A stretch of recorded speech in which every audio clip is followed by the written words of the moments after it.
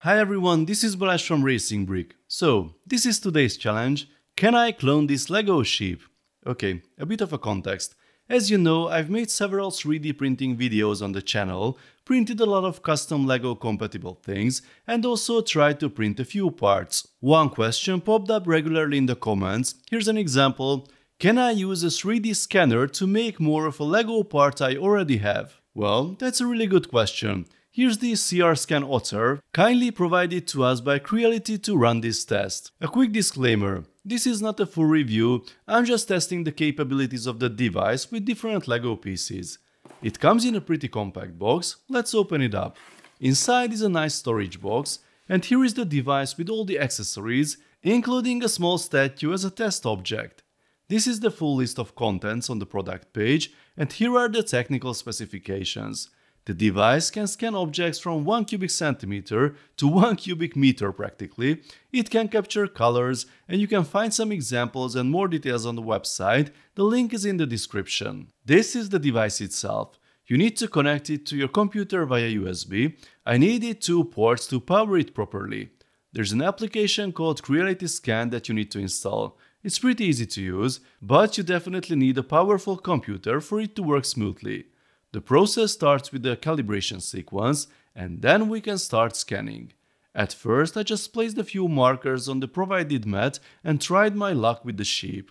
So the object has to become completely green, it takes a while until all sides are captured properly with all the details.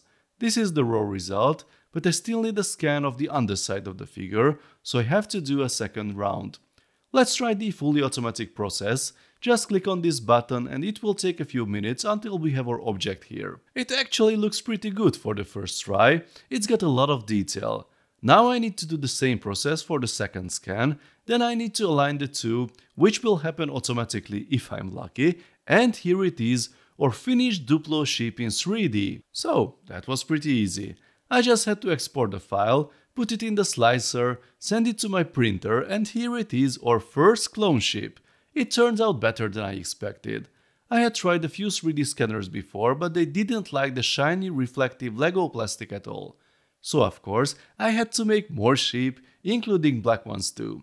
Theoretically, I could print them with multiple colors, but the mapping that comes from the Creality Scan application is different from what the slicer of my 3D printer can understand, so I will have to do some more research to make it work. It's a pretty good fit by the way, not exactly the same clutch power, but close. With a bit of fine tuning it would work. How about something else? What if you wanted to clone a very valuable Lego piece? This is the original LEGO Goat that was only available in a single set more than 10 years ago, and for some reason people are paying more than 50 euros for a used one. How do you actually tell the difference between a used and a new goat anyway? So, let's try to scan this one. A much smaller object with tiny details, the scanner has quite a bit of trouble capturing it. I tried several times but I didn't really succeed. After a bit of research, I found out that I need more tracking points. These are very useful little objects that you can 3D print. I'll link the video in the description where I found them.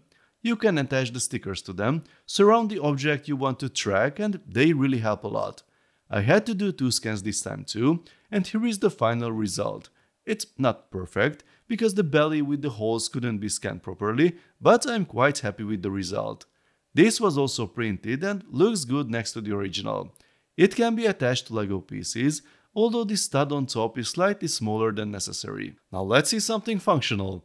You know I'm obsessed with 3D printed rims, I need to scan some rims.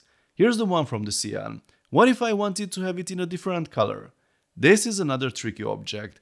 I had to place the stickers on the rim itself so that the automatic welding functions would recognize the alignment correctly.